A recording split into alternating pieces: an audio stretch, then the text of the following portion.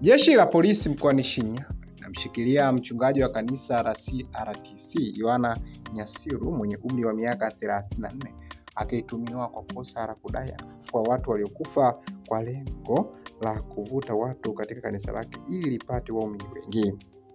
Mbali ya mchungaji huyo, pia jeshi hilo linamshikilia mtu aliyetambulika kwa jina la Yohana Komanya mwenye umri wa miaka 21 ambaye hata hivyo makazi yake hayakufahamika mara moja, kuifanya msukule alifufuliwa na mchungaji huyo.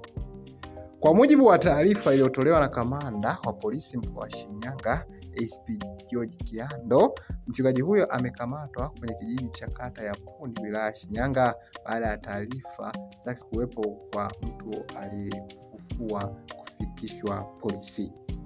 Kamanda Kiando amesema baada ya taarifa za mchungaji huyo kufikishwa polisi, walikwenda katika kata hiyo ambako umati wa watu walikuwa wamekusanyika kushuhudia miujiza ya kufufua wafu iliyokuwa ikifanywa na mchungaji huyo.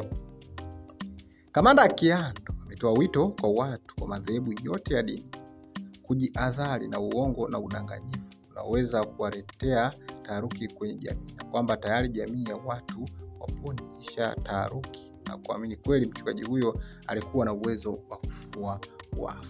Mimi naitwa Sigfrid Sebastian Kiawike, Muifumo Update ambaye nakupa update mbalimbali.